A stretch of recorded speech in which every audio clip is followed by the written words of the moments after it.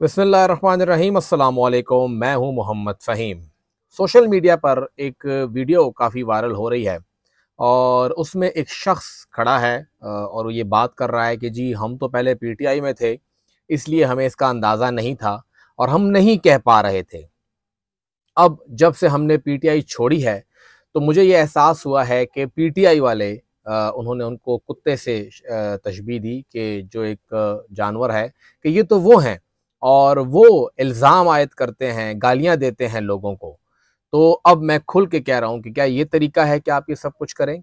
ये शख्स बहुत से लोगों के लिए एक नया शख्स है कि आखिर ये है कौन? और जिस तरह उसका कैप्शन मैंने भी ट्वीट पे लिखा कि इनका नाम अहमद खान है और ये भाई हैं सबक वज़ी अला महमूद खान साहब के। तो बहुत से लोग यही सोचते हैं कि बस कोई होगा जिसने ये बात कर दी है। लेकिन आज थोड़ा सा आपके सामने अहमद खान साहब के हवाले से जो उनकी तारीफ़ है या जो उनकी तारीख़ है, उसके लिए बैठा हूँ कि आपको बताऊँ कि वो थे कौन और वो करते क्या थे। और आज उन्हें ये बात कहने की क्यों ज़रूरत पेश आई? अहमद ख़ान और अब्दुल्ला, इन दोनों को हम जानते हैं, शायद ज़्यादा भाई हों सबक वजी अला महमूद ख़ान साहब के। लेकिन अब्दुल्ला, क्योंकि पहले वहाँ पे तहसील नाजिम रहे हैं, अभी तहसील चेयरमैन है मटा के तो वहाँ पे स्वात में जितनी भी उनकी पॉलिटिकल गैदरिंग है महमूद खान साहब की, वो सब कुछ वही देखते हैं। खैबर पख्तनख्वा में तकरीबन साढ़े चार साल तक महमूद खान साहब वजी अला रहे। इन साढ़े चार सालों के अंदर अगर देखा जाए तो तीन साल के करीब या ढाई से तीन साल लगा लीजिए, उनका इख्तियार था ही नहीं। वो परवेज़ खटक साहब की जानब से लगाए गए थे। खटक साहब ने भी कहा कि वो एक पपेट थे, एक डमी वजी अला चाहिए था।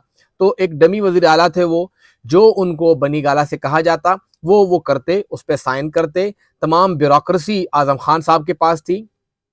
और अब तो ओपनली मान भी लिया है परवेज खटक साहब ने कि हुकूमत तो आज़म खान चलाया करते थे। तो तमाम कंट्रोल आज़म खान साहब के पास था, सूबे के अंदर चीफ सेक्रेटरी सेक्रेटरी जो भी करते वो सब कुछ आज़म खान साहब कंट्रोल करते और पॉलिटिकली जितने फैसले थे वो परवेज खटक साहब करते। और उसके साथ फिर यहाँ पे इफ्तार दुरानी साहब को ला बिठा दिया गया। तमाम कंट्रोल वो करते सी एम हाउस की हर एक मीटिंग में वो बैठे होते थे। तो सारा का सारा कंट्रोल तो उनके पास था। महमूद खान साहब इसी पे खुश थे कि लोग उन्हें कहते कि ये वजी अला है और उनके लिए बहुत बड़ी बात थी। कि वो वजी अला कहलाए जा रहे हैं। तो वो इसी पे खुश थे और जितना उनको रुकी सूखी मिल रही थी, वो उस पर काम कर रहे थे। जितना स्पेस बचता था, जहाँ पे उनको मौका मिलता था तो उनके भाई यही जो कि आज इनकी वीडियो आई है, अहमद खान। वज़ीर अला हाउस में आपने अगर कुछ करना होता, आपको अगर सूबे में कोई भी काम निकालना है और वो आज़म खान साहब और परवेज खटक साहब से बच जाता है। यानी अगर आप उनके पास नहीं जाना चाह रहे या उनका वहाँ पे इख्तियार हाथ नहीं डाल रहे या उनकी आँख से बचा हुआ इलाका है तो वो इलाका अहमद खान साहब के पास होता था और वो वहीं से इसको कंट्रोल करते थे। कुछ अर्सा कबल जब नौ मई का वाक़ नहीं हुआ था, पाकिस्तान तरीके इंसाफ के चंद सबक गुजरा थे। उनके साथ मैं खुद बैठा हुआ था और उनसे बहस हुई डिस्कशन हुई। तो उन्होंने कहा, जी, देखें, हमने तो यहाँ पे साढ़े नौ साल हुकूमत की है और साढ़े नौ साल हुकूमत के अंदर हमने एक पाई की करप्शन नहीं की। उस वक्त महमूद खान साहब उनके साथ थे, कोई पार्टी नहीं छोड़ी थी, नौ मई से पहले का वाक़ है।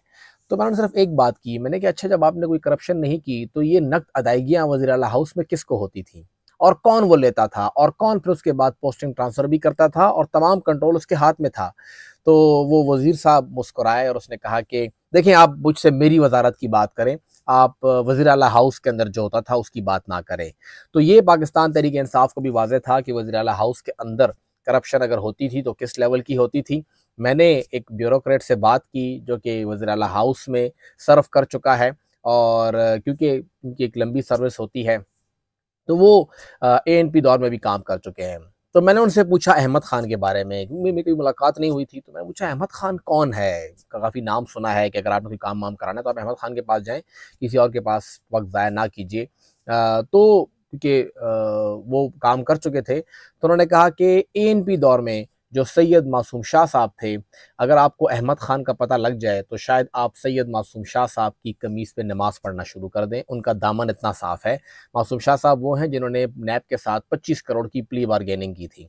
तो ये उस ब्यूरोक्रेट के अल्फाज थे। अगर आपको अहमद खान का पता लग गया तो आपको मासूम शाह जो है, वो एक फ़रिश्ता नज़र आएगा। ये सब कुछ अहमद खान ने किया।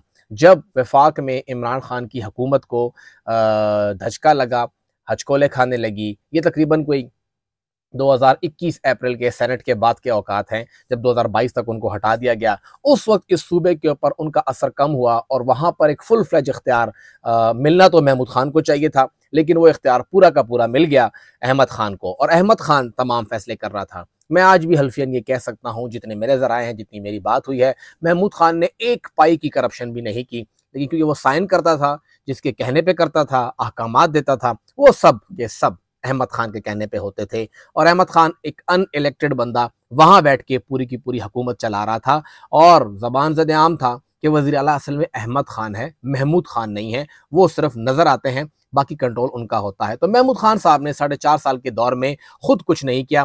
पहले सारा कंट्रोल जो था, वो आज़म खान के पास था, परवेज खटक के पास था। बनी गाला के पास था और उसके बाद सारा कंट्रोल अहमद खान के पास था।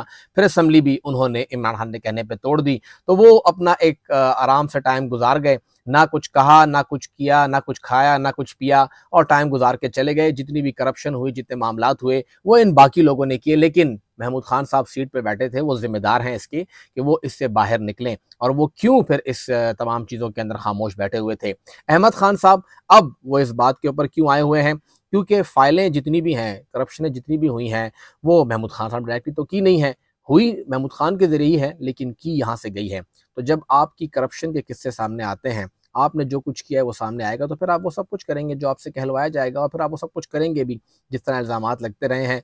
मैंने खुद एक साथी के लिए दरख्वास्त की थी शाराम तरकई साहब, उस वक्त एजुकेशन मिनिस्टर थे और मिनिस्टर साहब खुद कह रहे थे कि हो जाएगा, आप बेफिक्र रहिए। हमारे एक साथी की बेगम थी, वो टीचर थी और वो दोनों पेशावर में रहते थे, उनका एक दूर डिस्ट्रिक्ट से ट्रांसफ़र करना था। तो मैंने कहा, सर जेनवन केस है, ये इनकी शादी के पेपर्स हैं और वो नहीं हो रहा, उनसे पैसे मांगे जा रहे हैं। उस पर शराम तरकई साहब काफ़ी नाराज़ भी हुए, कैसे कैसे मुमकिन है कि पैसे लिए जा रहे हैं?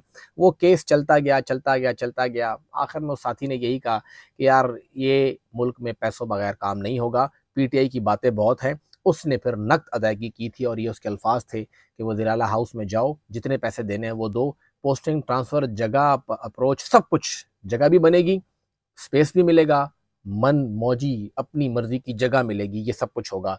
ये सब कुछ उस वक्त हुआ और मैंने फिर उस वक्त भी शाहराम तरक्की को कहा कि, सर, वज़ीर तो आप हैं, लेकिन सब कुछ कंट्रोल वहाँ से हो रहा है। एजुकेशन की पोस्टिंग ट्रांसफ़र भी उस वक्त पैसे दे के होती थी और ये सब कुछ पीटीआई दौर में हुआ। हमने उस वक्त भी कहा उस वक्त भी पीटीआई हमें ही बुरा भला कहती थी, गालम गलोच करती थी। आज भी कहते हैं कि पीटीआई के दौर में, स्पेशली महमूद खान के दौर के अंदर करप्शन बेतहाशा बढ़ी थी। जो दौर परवेज़ खटक था, वो इससे सौ गुना बेहतर था। खटक दौर में कम से कम करप्शन इतने लोअर लेवल पे नहीं आई थी जितनी महमूद खान के दौर में आई थी। और महमूद खान के दौर में करप्शन को चार पाँच दस गुना ज़्यादा हुए। नौकरियाँ भी बिकी पोस्टिंग ट्रांसफ़र भी बिकी और फिर फंड्स भी बिके। और ये हम नहीं कह रहे हैं, ये सामने है, ओपन है, वज़ीर अला हाउस के सामने आईएसएफ ने प्रोटेस्ट किया था, कमेटी बनी थी कि उन्होंने कहा था कि एक बाल वज़ीर जो है वो करप्ट है और वो नौकरियाँ बेचता है। और फिर महमूद खान साहब ने कहा कि जी, चले कमेटी बना लेते हैं। इकबाल वज़ीर ने यहाँ पे लोकल गवर्नमेंट डिपार्टमेंट का जो डायरेक्ट्रेट था, वहाँ के अमले को सात घंटे महसूर किए रखा या गमाल बनाए रखा ताकि क्लास फोर की नौकरियाँ उसको मिल जाए। तो ये तमाम सब कुछ महमूद खान के दौर में हुआ है, उससे बाहर नहीं हुआ है। महमूद खान साहब इससे आँखें नहीं चुरा सकते हैं। जब उनका भाई ये सब कुछ करेगा तो फिर बाकी वजरा भी करेंगे। तो ये तमाम कुछ अहमद खान साहब की जो डेफिनेशन है, बहुत से लोगों के लिए नए लोग थे कि बंदा नया है, कहाँ से आया तो बताना था कि ये हमारे वज़ी अला रह चुके हैं। डी फैक्टो वज़ी अला थे हमारे महमूद खान साहब। के भाई जो कि अहमद खान है तो उसके बारे में तमाम डिटेल थी कि कब कब क्या कुछ, कैसे किया उन्होंने। बाकी किस्से बहुत हैं, कहानियाँ बहुत हैं, कब किस मीटिंग में बैठ कर उन्होंने क्या कुछ कहा, लेकिन ये थोड़ा सा आपको बताना ज़रूरी था कि आप पहचान लीजिए कि जो आज पीटीआई के वर्कर को गाली दे रहा है, असल में उसी ने इस पीटीआई के वर्कर का वोट और पीटीआई का वोट किस किस तरह से बेचा, किस किस तरह से माल बनाया।